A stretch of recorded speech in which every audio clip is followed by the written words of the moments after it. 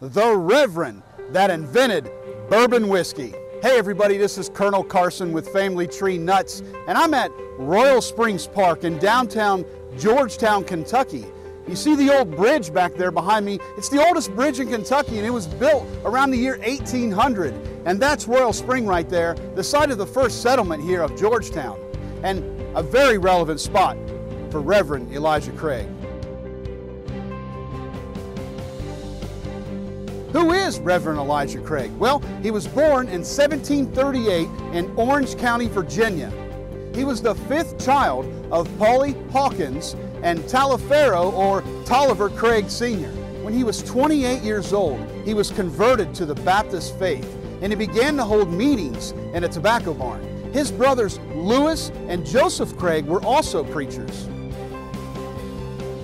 His brother Lewis and others were actually jailed for about a month for preaching without a license. Well, technically, preaching without a license from the Anglican Church and disturbing the peace. The prosecutor said they were incapable of meeting a man on the road without ramming the scripture down his throat. In 1771, Elijah became ordained and the pastor of Blue Run Church.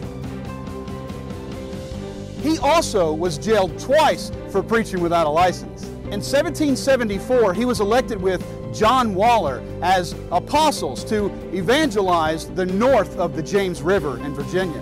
Baptists were often persecuted because they held mixed congregation, blacks and whites, and they often encouraged members to free their slaves or at least treat them very well. Elijah worked as a liaison between the churches and the newly formed Virginia legislature. He helped to protect religious freedom in the brand new country. Once freedom of religion was established, the Baptist membership grew. In 1781, Elijah's brother Lewis led a group of 600 people to Kentucky. They were called the Traveling Church. They originally settled at Gilbert's Creek, south of Lancaster, on Kentucky 39 on the way to Crab Orchard.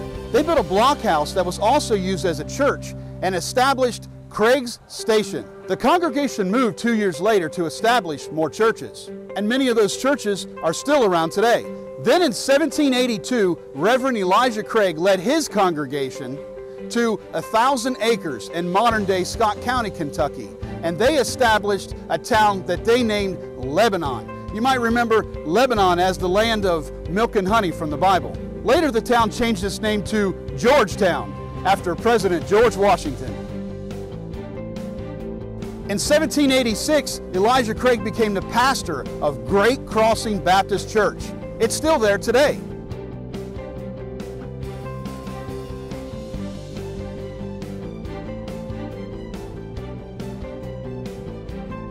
Do you know who else was once the pastor at Great Crossing Baptist Church?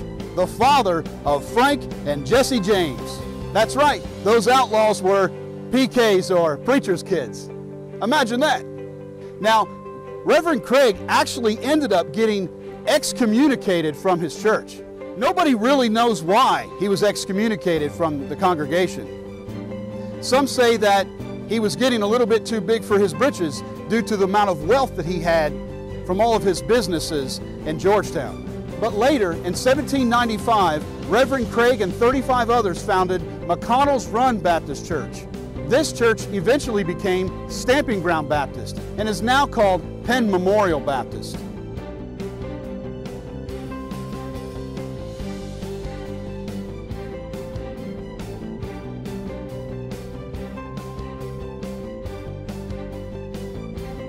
We actually have a video about the history of this church.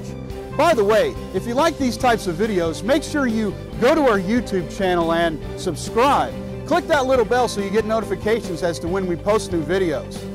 In 1787, he established the first classical school in Kentucky, here at Royal Springs, right here.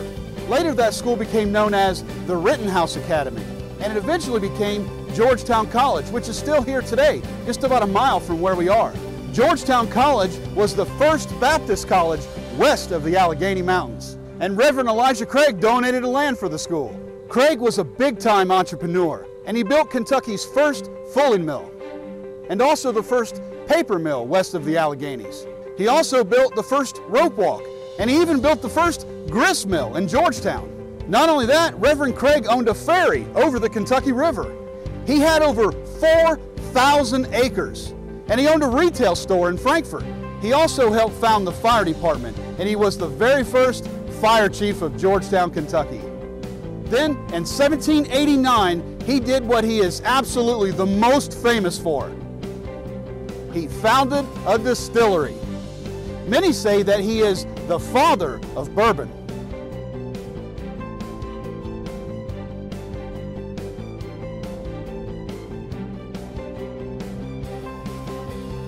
They say he is the first person to age corn liquor in charred barrels. The charred barrels give the whiskey its unique flavor and coloring of the bourbon whiskey that we know today. Now, still others say that this is just a legend.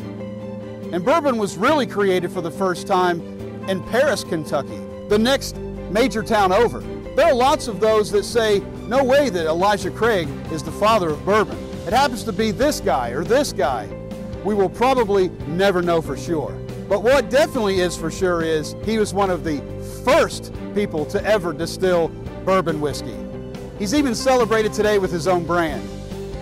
Elijah Craig Bourbon is produced in his honor by Heaven Hill Distilleries. The 12 year small batch is the most common, but the 18 year is the oldest single barrel bourbon in the world. It is not known how, but Craig lost most of his wealth before his death. Craig died in 1808 and his burial is unknown. Isn't that amazing? Somebody that was so influential, somebody that we remember two centuries later, and we don't even know where his final resting place is. So here we are at Royal Springs Park in Georgetown, Kentucky, the site of the beginning of Georgetown, the site of so many of Reverend Elijah Craig's industries the site of the oldest bridge in Kentucky, over 200 years old.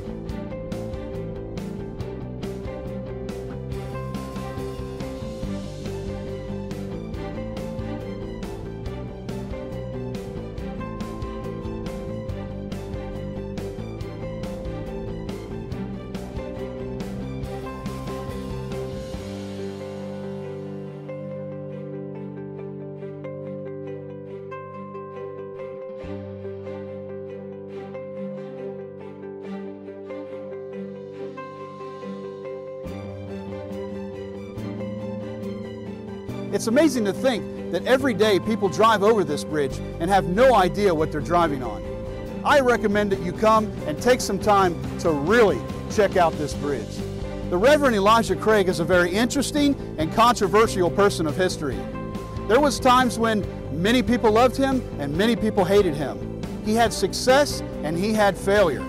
And he really lived. And we're glad to help out to keep his legacy alive. And remember, Family Tree Nuts. Let our nuts find the nuts in your family tree.